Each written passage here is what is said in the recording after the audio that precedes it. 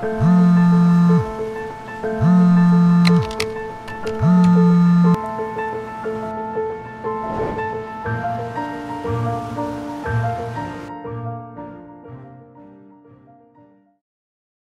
здравствуйте! Говорим сегодня про форумы, специальные задания для студентов, которые а, все преподаватели, кто работает в Moodle, конечно же, знают.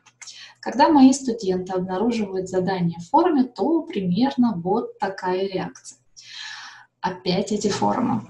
А, почему? И что думают студенты в тех анкетах и в разговорах, которых я собирала? Ну, во-первых, сама форма форума для них а, не очень привычная говорят, форумы не для Z, они привыкли к быстрым реактивным таким диалогам, где они сразу получают обратную связь. А, также они не видят в этом задании никакого смысла и пользы. А, вопросы, которые предлагаются, не мотивируют их на ответы, Соответственно, все, что они делают, они делают в большей степени для галочки. А уж тем более читать ответ одногруппника по этому же немотивирующему вопросу им в целом не интересно.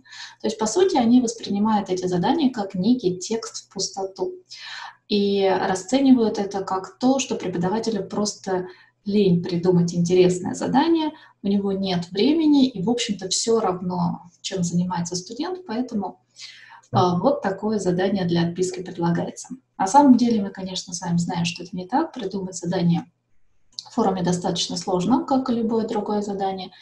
А, вот несколько советов, не знаю, рекомендаций или просто комментарий, которые я получила в личном опыте пытаясь формулировать хорошие задания. А, в первую очередь, это касается любых заданий, не только формов. Мы говорим студентам, зачем мы предлагаем это задание. А, Причем я бы сказала, что раньше это не было принято. То есть преподаватель никогда не объяснял, а, для чего мы делаем это задание, почему он методически выбрал именно его, каких образовательных результатов мы добьемся. То есть это всегда было в уме преподавателя, но никогда не эксплицировалось студентам. А сегодня очень важно для особенно бакалавров первого года, которые к нам приходят, совсем другие ребята по характеру, очень важно эти вещи эксплицировать, то есть проговаривать, почему мы выбираем форму для этого задания и какой образовательный результат мы хотим получить, какая польза будет для ребят от того, что они сделают это задание. Например, они научатся создавать текст, или они научатся аргументировать свою позицию, или они научатся определять, выявлять проблему, выделять важное, второстепенное, или научатся оценивать. Неважно, что это будет совсем небольшой шаг, но для ребят важно знать, что они получат, для чего они это делают и где это может пригодиться. А далее, а, действительно нужно показать, что вам не все равно. Конечно, вам не все равно, но все может восприниматься совершенно иначе. Как показать, что вам не все равно? А, в первую очередь по форумам, это когда вы даете обратную связь, чтобы это действительно не воспринималось а, ну, как некий текст в пустоту. Просто оценка в баллах или зачетом не является для студентов обратной связью. Для них это является, что вы отправили делать их задания и оценили, в общем-то, по каким-то загадочным критериям. И, и все, на этом все. А вот если вы предоставляете обратную связь, то тогда и выполнение самого задания на форуме студента будет совершенно иного качества. Как организовать вот эту обратную связь? Да, что можно предложить? В первую очередь мы можем написать эту обратную связь сами. Хотя, если подумать, что у нас поток, например, 100 человек или даже 50 человек, у нас несколько форумов, то писать самому — это слишком большие затраты времени для того, чтобы показывать, что нам не все равно. Поэтому для, например, больших потоков мы можем подключать студентов из других групп, например, старших курсов.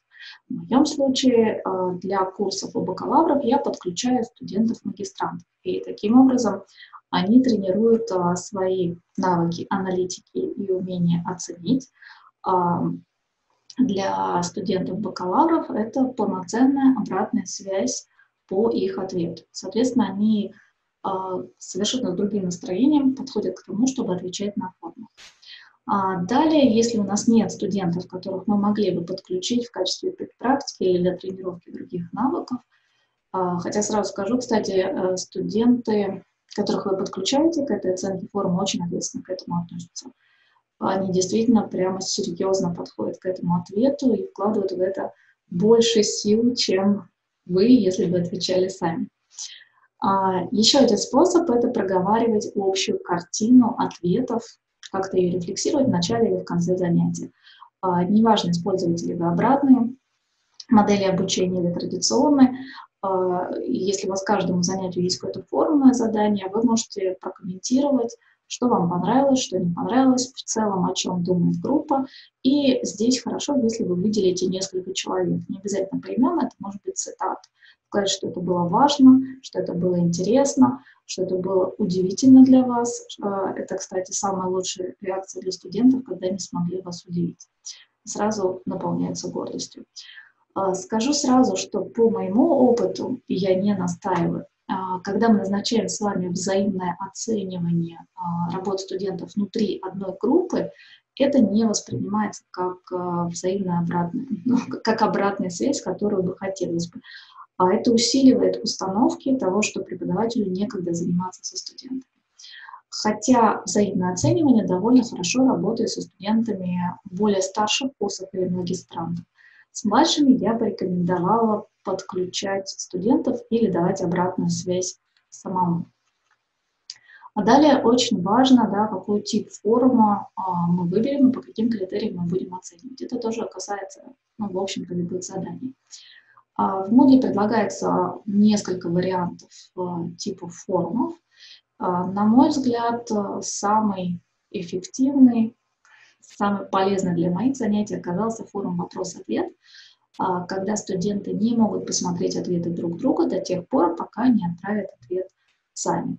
Это создает определенную интригу, определенную тайну и мотивирует студентов выполнить задание быстрее, чтобы посмотреть ответ. Но для этого должно быть хорошо сформулировано задание, чтобы вам просто хотелось посмотреть ответы друг у друга.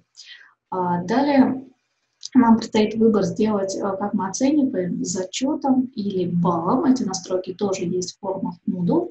А здесь эм, зависит от того, какие цели вы преследуете, насколько вы готовы тратить времени на оценку. Но чтобы вы не выбрали, параметры оценки должны быть заранее оговорены. То есть за что конкретно они получают зачет, за что конкретно, по каким критериям они получают баллы. А, в моих курсах эффективнее оказались баллы.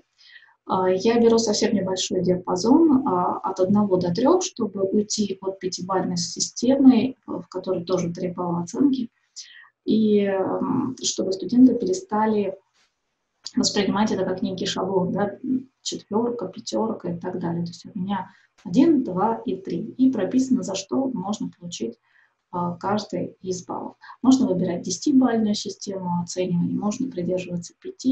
А, балл позволяет дифференцировать все-таки а, ответы студентов. Таким образом, они видят, что все вкладывали разные старания и получили, соответственно, разные, разную обратную связь и разные оценки. Для них это ценно. При формулировании заданий мы, конечно, должны все время помнить, а что мы проверяем, да, какой уровень мы сейчас смотрим и хотим оценить, а, с какими образовательными результатами мы соотносим те вопросы, которые ставим. Я рекомендую не проверять с помощью форумов уровень знать. Ну вот, например, вопросы «назовите основные характеристики дадаизма» или подобные вопросы, на которые ответы будут а, иметь фактическую информацию. Если только вы не хотите устроить соревнование, кто быстрее найдет. А, дело в том, что на такой на знаниевые вопросы, фактически, которые очень легко найти в интернете, у студентов не будет никакой мотивации смотреть ответы друг друга. То есть, по сути, они по этому содержанию пройдутся только один раз. Ответят и забудут. В принципе, можно проверять форумом уровень понимать. Например, вот такой вопрос у меня когда-то был в форуме. Являются ли глубокая и темная паутина синонимами или это разные понятия? Я просила аргументировать ответ. Таким образом, нам нужно, во-первых, найти, что такое глубокое, найти, что такое темное, разобраться с этим, да, и аргументировать, то есть вот как раз проявить некий уровень понимания. Но, опять же, смотреть ответы других а, студентов в таком случае им не очень интересно. Они разобрались и успокоились. То есть круга прохождения по этому материалу, а, который бы нам пригодился как преподавателям, а, не получается. Поэтому в форумах, конечно, лучше проверять уровни, анализировать, оценивать и создавать. А, то есть просить выделять важное, просить разобрать какой-то пример по критериям, дать этому оценку, или чтобы ребята представляли уже какой-то готовый итоговый проект. Тогда возникает мотивация посмотреть, что сделал другой, да, потому что каждый другой ответ э, своего одногруппника, он, по сути, дополняет э, фоновые знания, фоновые знания студента, которые он получил уже, готовясь к своему ответу. А, например, э, в одном из своих курсов по робототехнике социальной а, мы рассматривали, как роботы представлены в западной, восточной и других культурах. То есть рассматривали вопрос, а влияет ли культура на восприятие робота.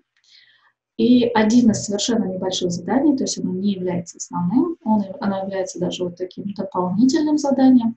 Я предлагаю ребятам посмотреть э, продукты медиакультуры на выбор. Это может быть рассказ, это может быть фильм, компьютерные игры чаще всего ребята выбирают или аниме.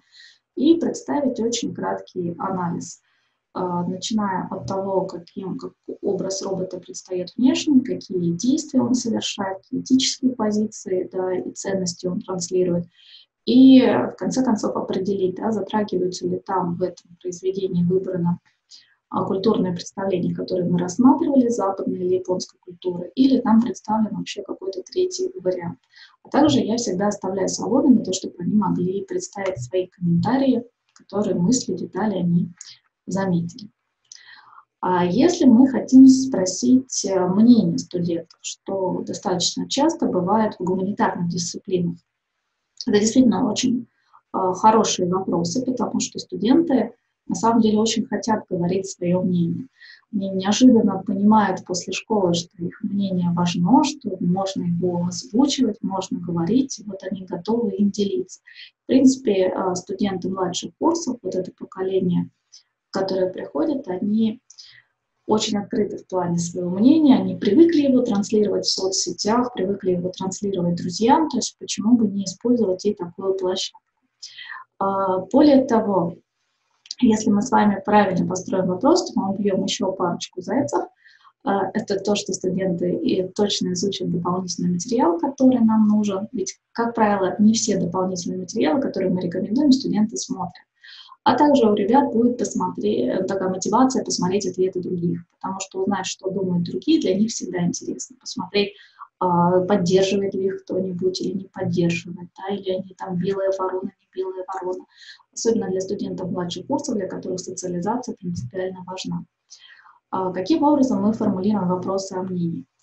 А, если мы сформулируем его слишком общо, например, как вы считаете, нужна ли цензура в интернете, то мы получим достаточно общие ответы, которые не дадут человеку прочувствовать свое мнение.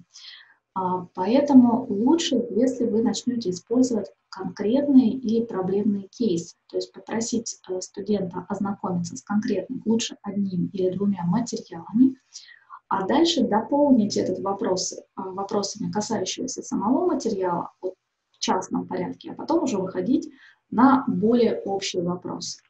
А, например, как я сейчас смотрю, как я предлагаю сейчас студентам рассуждать о цензуре в интернете. А, я знакомлю их, что Марк Цукерберг предложил новую систему настроек, да, чтобы пользователи выбирали, что они хотят видеть, а не система решала за них. И предлагаю ознакомиться с этим материалом. А также предлагаю ознакомиться с материалом TED-выступления а, «Цена чистого интернета», где люди, работающие модераторами, рассказывают, как они делают свою работу. И далее я предлагаю ребятам оценить, готовы ли они э, работать на такой работе, да, теперь они это уже просматривая какой-то опыт будут отвечать. И уже на этом опыте, на конкретных двух примерах, э, они могут выйти на размышления о каким образом стоит ограничивать контент, или, может быть, даже не стоит ограничивать контент, и готовы ли они вообще участвовать вот в этом вот вот такие вещи, просмотры через кейсы и через собственный опыт, они дают э, гораздо больше объем текстов, минимум, который вы получаете на выходе, и большую глубину и качество осмысления той проблемы, проблематики, которую вы бы ставили. Ну и, конечно, когда мы говорим о форуме, да, такое социальное пространство, я считаю, что надо всегда оставлять место для каких-то творческих решений и чувства юмора. А, например, в конце курса по цифровой культуре я всегда предлагаю форум, на котором ребята могут поделиться своими мемами относительно любой темы нашего курса пройденного. Таким образом, я, кстати, получаю информацию, а какая тема им запомнилась больше всего, да, что, что осталось вот в такой рефлексии, что осталось таким более актуальным. И, конечно же, ребята, создавая мемы, тренируют очень хорошо soft skills, ведь это же надо выбрать, подумать, сместрить, сотворить свое послание. А, конечно, чаще всего я получаю на форумах мемы про форумы. А, и скажу честно, просмотр именно этого форума у студентов, он прям вот ежечасный. То есть как только пришло уведомление, что кто-то выложил новый мем, они сразу же это просматривают. Вот здесь самая высокая мотивация.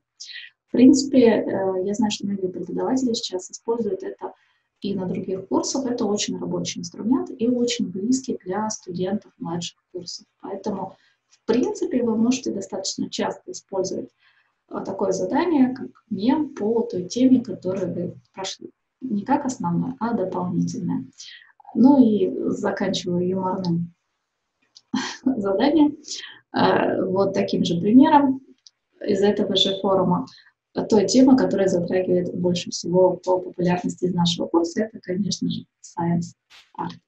Вот, спасибо. Желаю всем а, интересных ответов на форумах. Надеюсь, было полезно, коллеги. Всем до свидания.